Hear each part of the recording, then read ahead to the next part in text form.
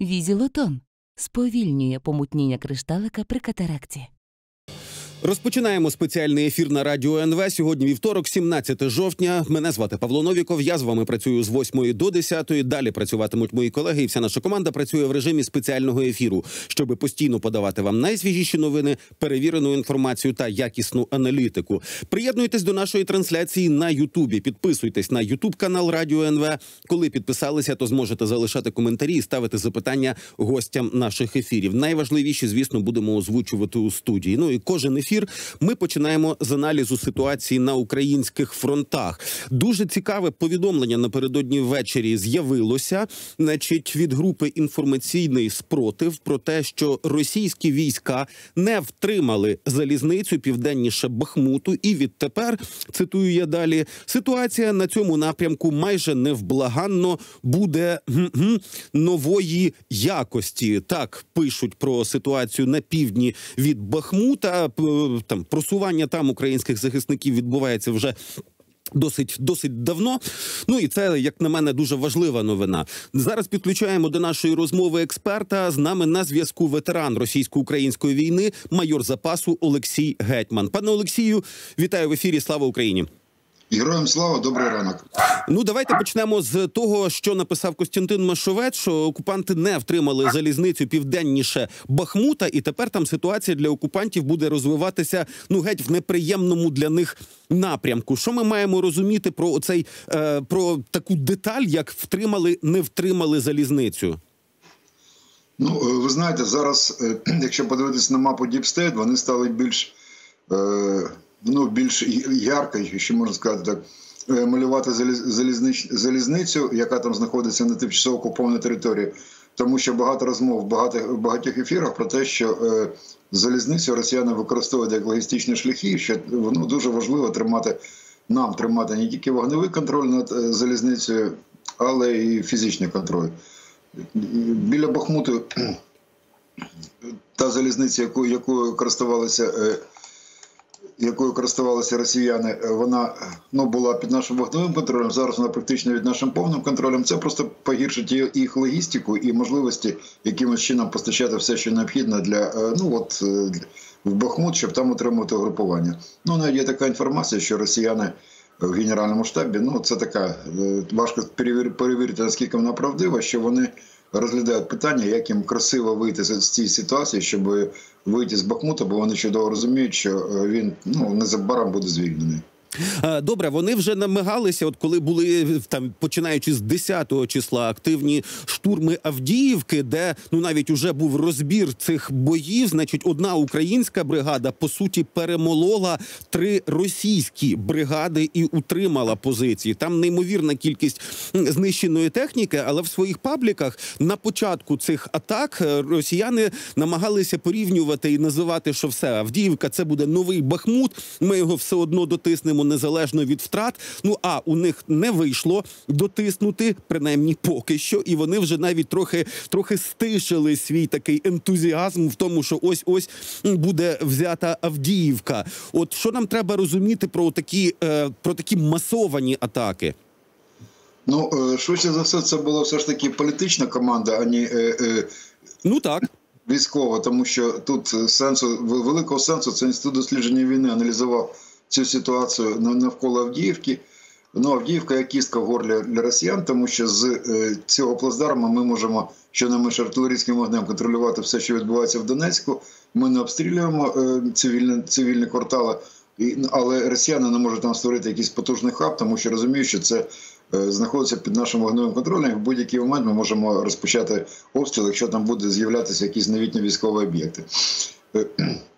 Е, Що стосується їхніх, е, е, ну чому це політично було? Ну це, це- що великого сенсу. Ну, Якщо навіть вдалося б росіянам захопити Авдіївку, то е, стратегічно це суттєво не вплинуло би на е, перебіг подій на всій лінії фронту, на, на всій російсько-українській війні.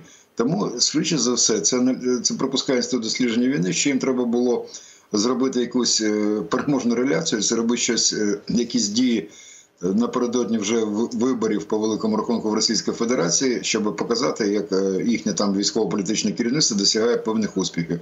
Звільнило одне місто, захопили точніше, захопили інше місто. Тому от якщо немає великого військового сенсу в якихось бойових діях, а є політичний сенс, то можна зробити простий висновок, що це було політичне, політичний наказ, політичне руководство Російської Федерації, щоб показати якусь переможну переможну дію. Чому вони призупинилися? Ну прорахували, скільки в них було набоїв, скільки в них було там зосереджено військової техніки, живої сили. І все, що там було в них, всі резерви, вони кинули на ці штурми, от особливо на півдні, там Водяне, Первомайська, щоб оточити з флангів Авдіївку. Ми це розуміли, ми укріпили фланги, ми знали про ці їхні дії, бо приховати таке скупчення військ, переміщення в, ну, в, навколо Авдіївки, приховати це неможливо. Так само нам було відомо, що будуть атакувати з фланга, там фланги були укріплені додатковими силами.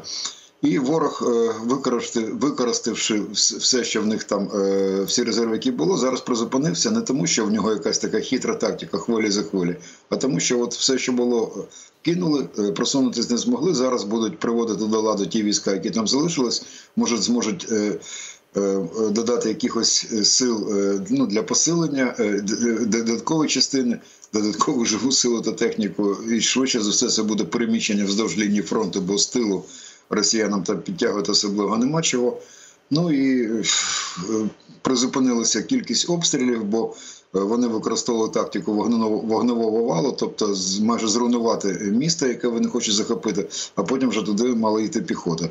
Так вони робили в Сєвєродонецьку, в Лисичанську, в Попасні, в Бахмуті так само.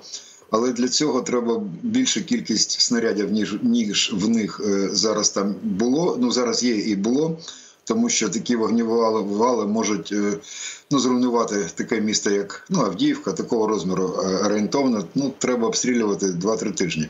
За 3-4 дні це ну ніякого результату, ну великого результату це не дасть. Так, це руйнація, це на жаль, загибель, в тому числі цивільне населення, але мета, яку ставилась, вона не досягнута. Авдіївка не зруйнована так, щоб це були вже руїни.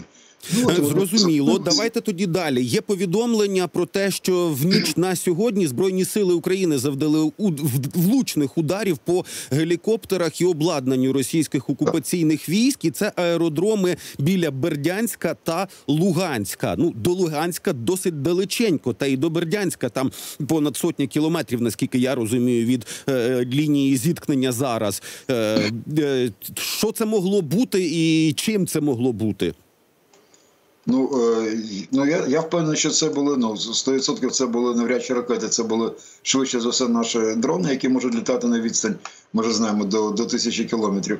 Це ну це мало пов'язане, мені здається, з ну я ви знаєте, ну важко казати мало чи е, не мало пов'язано з іншими бойовими дійсними. Всі бойові дії, е, де, де вони не відбувалися на війні, так чи інше інакше впливають на, на всю лінію фронту. Ну це атаки на аеродромне на на, на ворожі ворожі гелікоптери. Ну знаєте, це звичайно, це звичайна дія. Просто ну коли от будь-яка будь така будь-яка така атака, вона розраховується, відпрацьовується в генеральному штабі і приймається рішення, коли саме зручніше всього, коли саме враг буде не очікувати, щоб нанести цей удар.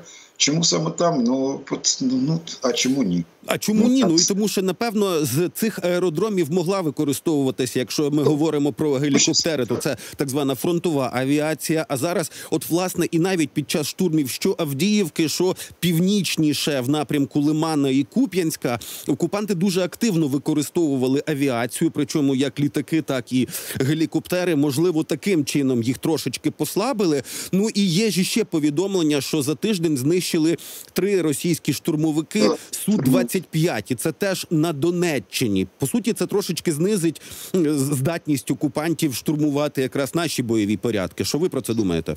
Вони вони вони е, почали використовувати, не почали. Вони раніше це робили зараз більш активно використовують саме е, літаки для е, ну, нанесення ударів плануючими бомбами чи керованими бомбами. Звідси літаки не заходять російські в зону враження нашого засобу протиповітряної оборони, але бачимо, що він коли заходять, ми їх одразу нищимо. Це пов'язано з тим, що знов таки в них починається вже певний дефіцит набоїв. Ну тут можна в цифрах по, по розповісти. Та кількість, яка виробляє їхня промисловість, та кількість, яких в них залишилось спочатку повномасштабного вторгнення, не дає можливості їм робити ну такі потужні обстріли, як це було там півроку чи рік рік, рік тому. Але авіабомб, от такі, от, які вони використовують, там ФАП 250 ФАП ФАП 500 навіть більш потужні. В них поки що ну не проаналізувала наша розвідка. Нема в мене даних. Е, офіційно оприлюднених даних, скільки в них таких бомб є, але є підозра, що доволі велика кількість. Тому вони їх намагаються використовувати, компенсуючи недостачу снарядів для артилерійських обстрілів. Ну тут можна зрозуміти з військової точки зору, але знищення трьох літаків ну це більше психологічно, мені здається, впливає на російських пілотів. Вони так бояться літати, бо розуміють, що вони ну тут вже точно як смертники, як камікадзе вилітають, якщо залітають в нашу територію. В них ще вистачає літаків, три літаки це це непогано, це гарний результат, але він так, щоб суттєво вплинув на їхні можливості атакувальні штурмової авіації. Ну суттєво не вплине. Суттєво не вплине. Добре, давайте тоді про дрони. Ви вже згадували, що ну, ви припускаєте, що удари по аеропортах, аеродромах біля Луганська і Бердянська були здійснені, могли бути здійснені дронами. Михайло Федоров, це міністр цифрової трансформації, звітував, що виявляється ну такий рекорд: 428 одиниць російської техніки за тиждень вражено дронами. Чи можемо ми оцей вже масштаб для себе усвідомити? Наскільки це впливає на перебіг бойових подій? Ну е, якщо 480 одиниць е, техніки було вражено е, дронами, то це приблизно стільки, скільки може виробляти російська промисловість за місяць важкої техніки, танків і ну БТРів і БМП. Ну виробляти плюс, ну це, це ж загальна цифра, що і виробляти, і піднімати з зберігання, і так, просто так. ну ставити на траки чи на колеса. Ні, ну це ні, 400 це ні, ні, ні. Це набагато. Е, я за місяць сказав, за рік я сказав. Е, це а, це за рік. Е, ні, чекайте, за півроку. Давайте так. Щоб ми заплутаємося цифри, давайте так. Вони можуть вони можуть виробляти до до 900 одиниць важкої техніки на рік. Це десь 20 танків на, на місяць зі складів вони можуть підіймати е, десь до 50 ще одиниць техніки на теж теж на місяць. Тобто в місяць в них можливість постачати з резервів умовних виробництва та розконсервації складів десь 70-80, ну наприклад, танків. Ну до 100, скажімо. Це ми беремо з перебільшенням. Знищити ну і приблизно стільки ж це може бути і інша техніка, хоча там менше кількості. То приблизно те, що ми знищили, це да, це те, це що кілька вони... місяців роботи їхнього ВПК по підйому і розконсервації так, техніки. Так, так. Саме кілька місяців. Ну, майже півроку, якщо порахувати. Круто, е, і тепер ще одна заява. Це вже від представника головного управління розвідки Міністерства оборони пана Юсова. Те, що не так давно виглядало як разові акції. Сьогодні це системна робота. Це удари по штабній інфраструктурі ворога, логістичних центрах, шляхах постачання і таке інше. Динаміка в Криму чудова. Заходи спецоперації стали інтенсивнішими. А от є розуміння, з якого моменту ця інтенсивність ну ну все таки спонукає окупантів е, пакувати валізи. Просто справді дуже дуже багато чого відбувається. Ми вже спілкувалися. Ну, наприклад, з тими, хто хто має контакт на окупованих територіях. Що, наприклад, після враження штабу Чорноморського флоту росіяни ну спочатку всю цю інформацію ховали, а потім почали, наприклад, на свої пропагандичні телеканали ну показувати там якихось офіцерів, що ось такий то офіцер е, Чорноморського флоту прийшов до школи, такий то тут засвітився ще на якійсь події, що нібито все нормально. Втрати вони ясно, що приховують. А от динаміка по Криму, до якого ну до якої до якої інтенсивності вона має розвинутися, щоб вони справді почали думати про втечу звідти? Ну е, тут атаки на Крим, вони е, ну звісно, вони вони впливають на е, бажання. Бо воно впевнений, в них там воно нікуди не поділося. Бажання втікти з тимчасово окупованого Криму, бо вони розуміють, що рано чи пізно він буде звільнений.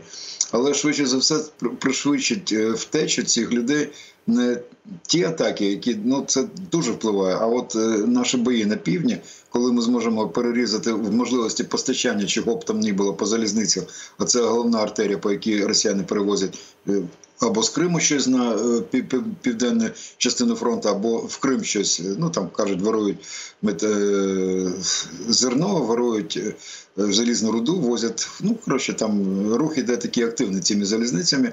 Ми їх контролюємо з артилерійським вогнем, але треба контролювати фізично, бо навіть якщо попали в, колі, е, зруйнували, то вони відносно швидко можна і поновити. А фізичний контроль це значить неможливо буде переміщатися взагалі. От е, і так само Керченський міст. Щонайменше, заліз- залізниці на Керченському мості е, треба зруйнувати, то Донець залишиться без можливості чогось суттєво постачати в Крим чи вивозити з Криму. Ну і паралельно робити такі атаки на Севастополь, Сімферополь. Це е, ну. Тримати їх в постійній напрузі. Бачите, вони ж вивели свої кораблі з цих портів вони, е, севастопольських. Вони розуміють, що вони вразливі для наших, ну ще не менше надводних е, дронів. Тому наскільки це важливо, ну те, що вони возять, там розповідає, там ще якогось адмірала. Я, я читав теж цю інформацію, що возять, де вони його знайшли, невідомо. Чи був він там при атаці на е, штаб Чорноморського флоту, чи не був невідомо, але його возять по всьому Криму. Як Цуцика на ну як е.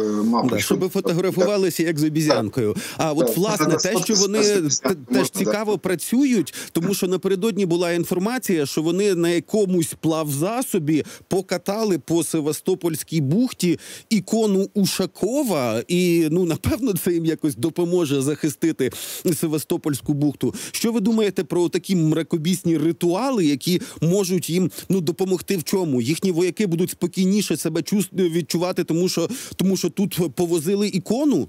Це працює. Ви знаєте, справа в тому, що от е, ну серед нас багато людей, які щиро вірять, е, ну е,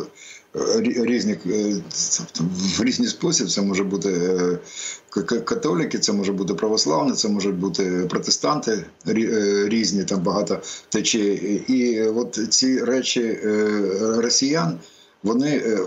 От ікона, це ж для, для багатьох людей це речі, ну, про які важко ну, неможливо жартувати, бо віра Віра це дуже серйозна річ. Але те, що роблять росіяни, це е, з християнством взагалі немає ніякого. Е, Ніякого стосунку, те, те, що вони роблять, вони вони е, ну дьявол мапа в Біблії написано, що дьявол це мавпа Бога, тобто він мавпує дії Бога, намагаючись видати себе за теж щось таке, ну святе. Велике і святе.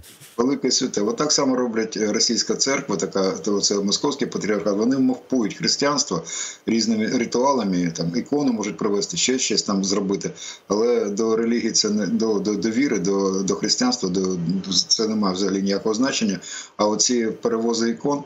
Ну, це знаєте, це навіть мені здається, що це знущання над вірою, над християнством. І люди, які щиро віруючі, вони мають це не підтримувати, а навпаки, це засуджувати. А те, що дасть чи не дасть це якийсь сенс, ну дасть сенс Гундяєву, він буде розповідати, що. Будь-що там, щоб не трапилось позитивного, сонце вийшло там і ще щось. Він буде казати, що це завдяки тому, що повозили ікону. Ну це, це пропагандистські трюки з їхнього боку, які от вони е, Ну, ця ікона для них справді стала важливою з точки зору пропаганди, військової пропаганди, тому що це ж ікона, яка вціліла під час влучання чогось дуже корисного в будівлю штабу Чорноморського флоту. І коли ви їм нема про що розказувати, скільки загинуло офіцерів, адміралів і таке інше, то значить треба розказувати, що зате свята ікона вціліла. От тепер її покатали ще й по Севастопольській Ну, бухті. Я впевнений, що там вціліла, десь там може і кофеварка ще теж може вціліла десь в іншій кімнаті. Возити кофеварку, ну це значить, Було б непогано.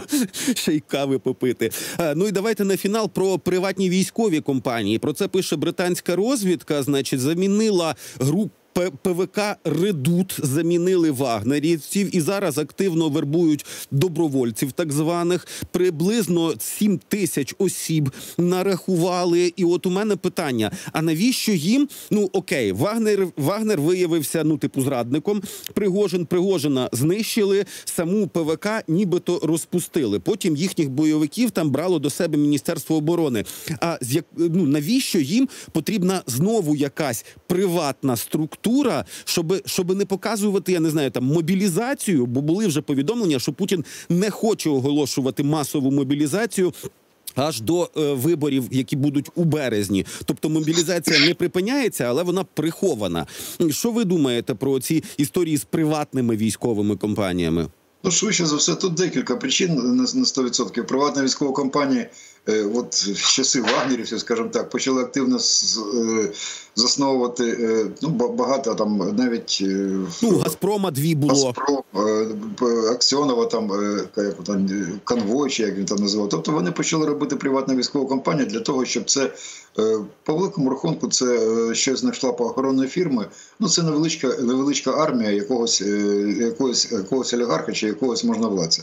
От для, тому, що вони відчували, що почнуться якісь е, процеси всередині Росії, коли вона буде програвати і програє цю війну, то для того, щоб зберегти себе чи своє майно, ну, майно навряд чи щоб зберегти себе, треба ну, якусь мати структуру, яка буде, буде захищати, яка буде е, в крайньому випадку зі зброєю воювати. Бо навряд чи, коли буде дестабілізація в Росії, там поліція чи ФСБ, чи ще хтось е, впорається з цими з тим безладом, який там може розпочатись.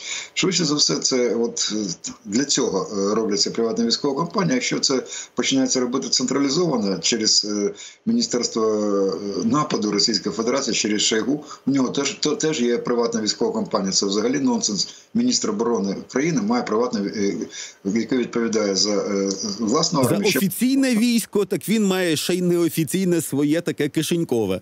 Да, ну це, це, це виглядає дуже так дивно, але це пов'язано швидше за все не з тим, що вони хочуть. Ну може, може частково дати. Хочуть через приватні компанії, що це добровольці, що про ці втрати може не, буду так розповідати. Може не треба виплачувати їм компенсацію там білу ладу каліну за те, що е, загибли, бо це там швидше за все інші якісь е, правила.